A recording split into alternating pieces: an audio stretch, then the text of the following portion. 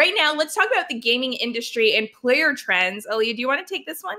Sure, sure. This uh, is an article that I got off of TechCrunch. And as we all know, last year was a year and it continues mm. to be a year mm-hmm. into 2021. And the only thing we can do is play video games. And that's the really the one way we can connect with people. And of course, that being the topic of conversation pretty well everywhere resulted in a big hike in spending for video mm-hmm. games, which we kind of anticipated, right? Yeah. I don't think yeah. we anticipated it to this level. All right. Oh.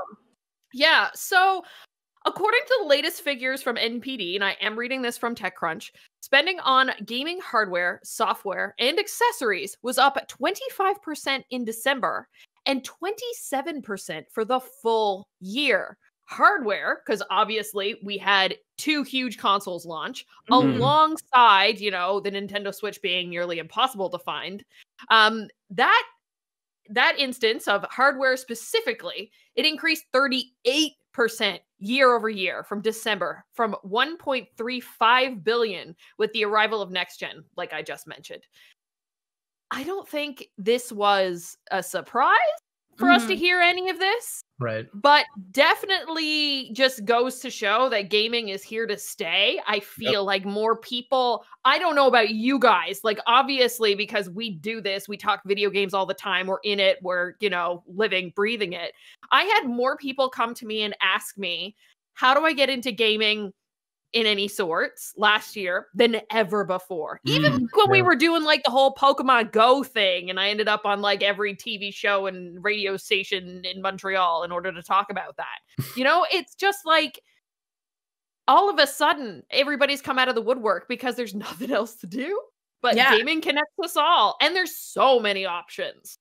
There, there are so many options. And I feel like we're we're gonna have a lot more people when we come out of this whole pandemic saying that they're gamers, um, that they found love through gaming, just because it's a really interactive it's an interactive way to connect with your friends like we could mm-hmm. we could all be in zoom calls no matter how many times but it gets stale after a while um, with gaming you're always you know preoccupied with the mission in games or trying to mm-hmm. survive um, be the last player yeah. um, you know and you're able still to talk about your day with your friends. Right. Um, I've talked yeah. about my group of friends where we play COD every week. We've changed to Tuesdays, and we just it's a day where we just hop into multiplayer.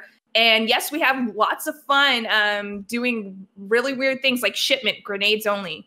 Mm-hmm. Um, why i don't know but we, we talk we talk about our week we talk about the hardships of like with all the tough news that we're seeing mm. um, and mm. connecting over needing like that virtual hug and it's really been therapeutic for me and i yep. think a lot of people would find that especially those that have never you know really picked up a console i think the more interesting thing is that the numbers are that high with this mm. story because of all the delays that happened with next yeah. gen right i honestly was not expecting that many numbers of hardware to be sold. I know a lot of people were getting into the N- Nintendo Switch for Ring Fit and other fitness needs. Yep.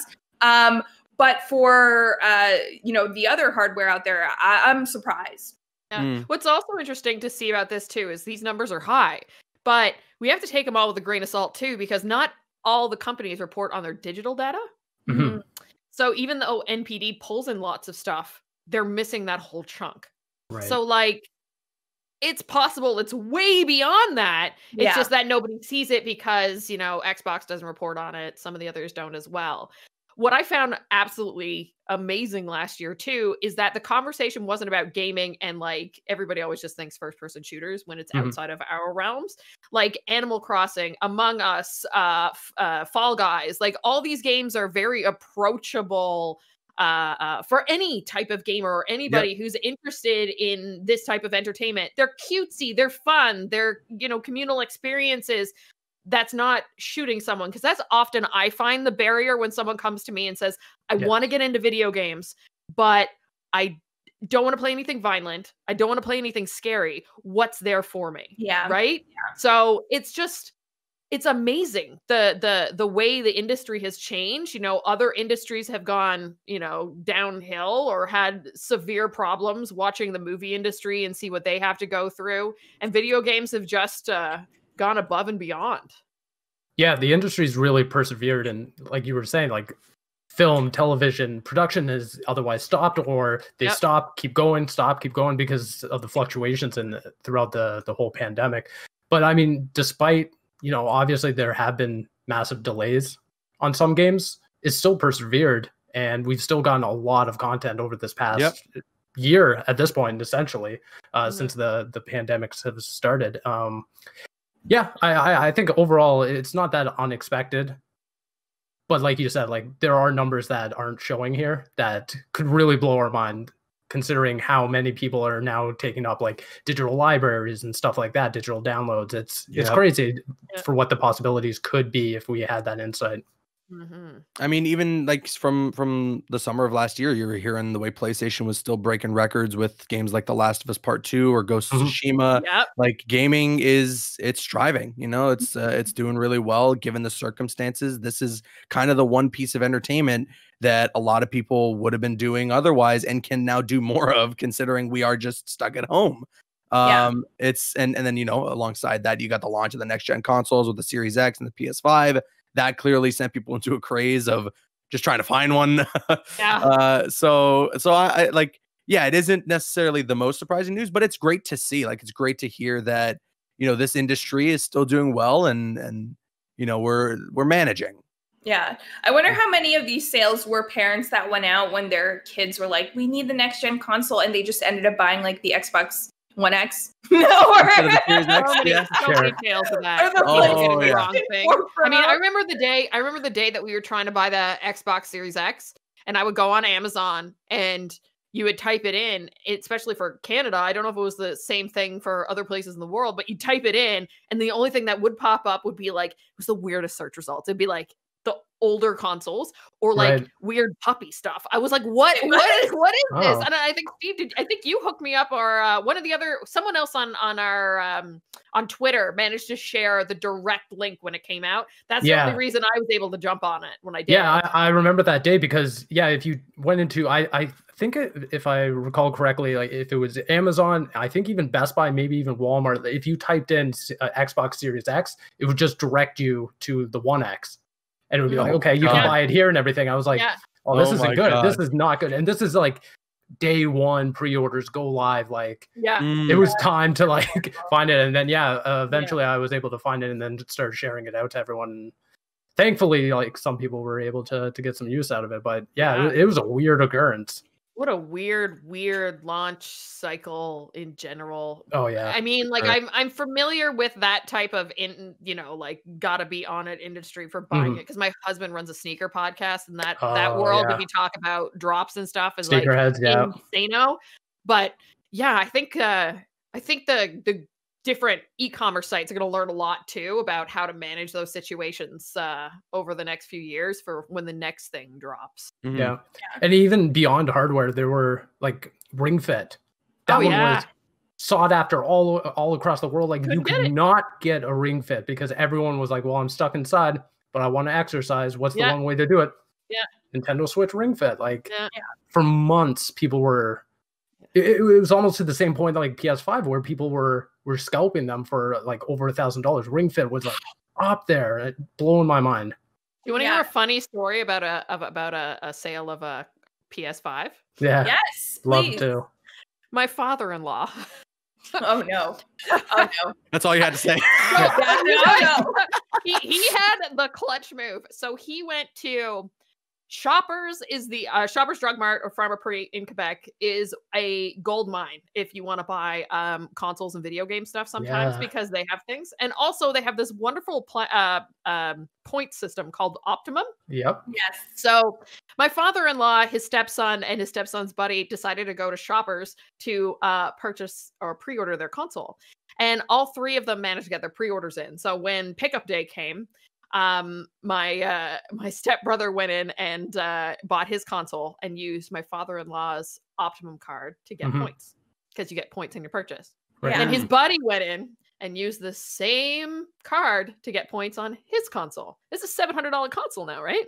i see where this is going i Oh, love oh, this Then no. when my father-in-law went in, he ended up only spending three hundred fifty dollars because he used the rest of his points. amazing Wow. This gets better. It was Senior's Day, so he got a discount. This gets better. Whoa! he resold it for a thousand dollars. Oh my god! Gotta get that bag.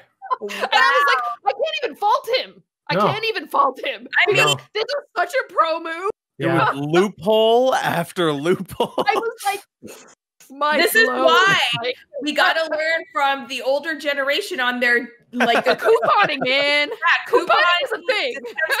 I mean, like work that, work it, work it around. I, I- I feel bad for everyone in chat who's like, I still don't have a coupon. I know. I mean, he sold it to somebody who really wanted it, though, so that was good. Okay, and, and his that's kid fair. for Christmas. So, so yeah. I mean, in the end, at least, at least he got some a little bit of extra for putting in the effort, right? Right. Yeah. Exactly. Making the But- hustle. But yeah, if you're in Canada, I I highly recommend Shoppers Drug Mart, Pharmaprix, and even like holiday sales. You can use your points like to to go get discounts on on co- uh, consoles, on controllers, on games.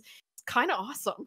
That Yeah, is awesome. w- without making this like a full-fledged shoppers drug mart ad i mean i, I Six do know like a lot of people that play the system and, and do get like a lot of bonuses from buying their consoles and games from shoppers and it's kind of wild that it, it- like you said caboose they're all loopholes Yeah. like and shoppers just doesn't really care Well, I want to see that report. I want to see how much money shoppers is losing on their points because, like, I, I don't know how they're doing it. they- trust me, the amount of money that I have spent on makeup in their stores.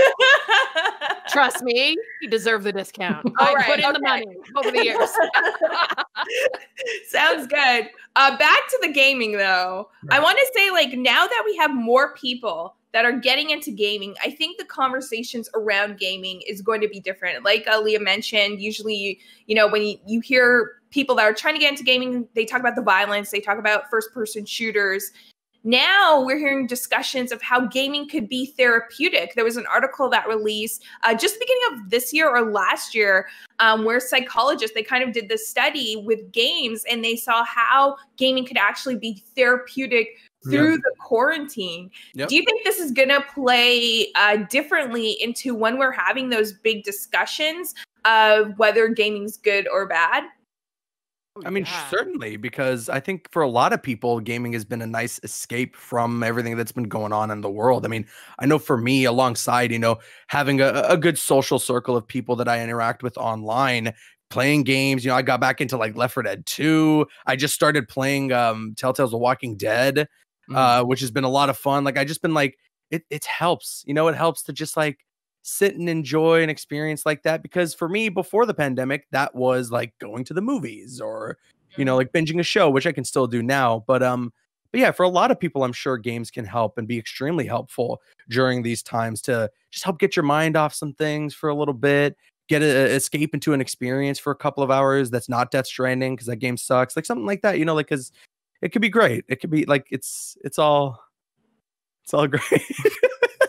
I love this. I The love this hesitation. eternal hate for this game. I just sit here now. And I just, you'll see. You'll see with Kojima's next game. You'll see.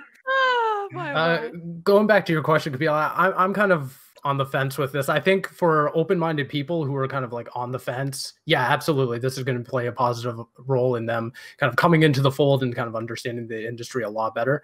But I Mm. do think that there is going to still be that that place in the the mainstream community where video games are kind of looked at as like a scapegoat for gun violence or for any kind of aggression stuff like that i think those people are still set in their ways enough that even seeing this kind of data that's coming out they're still going to use video games as that number one culprit which is really unfortunate and again they- they've done studies enough that have disproven that but it doesn't really matter to them um, but i think for the larger community that haven't been inundated to video games this is definitely going to entice them to kind of you know at least dip their toe in and see what's up yeah, Yeah. I agree. Yeah, and you, you make a good point. I feel like people always have that some sort of agenda, right? Like if their agenda is to make games look bad, then Mhm. they will make games and gaming look bad, right? Like Yeah. they're gonna find those excuses. I will say though, because of all the gaming that I have done, I've actually had to set my phone um, alarms multiple times just to make sure I do take proper breaks. I don't know about you guys, but because we aren't going outside, we're not like for me, I'm not exercising as much as I would, like just on a daily basis, like getting out, doing like my steps per day. Um, Mhm. I, my back sucks right now. like it is so stiff, my back Right. and my neck. Like I go into full like techno mode, gamer mode, um, like with the hunch and everything. So having those alarms for me just is that reminder to get up, walk throughout the house, or to Yeah. get outside and just do a little walk, which I think is very important for Very. anyone who's spending a lot of time uh, gaming right now. Hundred percent. And stay Actually- hydrated. Stay, Stay hydrated. hydrated. Yes, stay Mhm. hydrated. Take that walk around. And you know what? We're going to do that right now. We're going to take our quick break and then we're going to be right back. Stay tuned.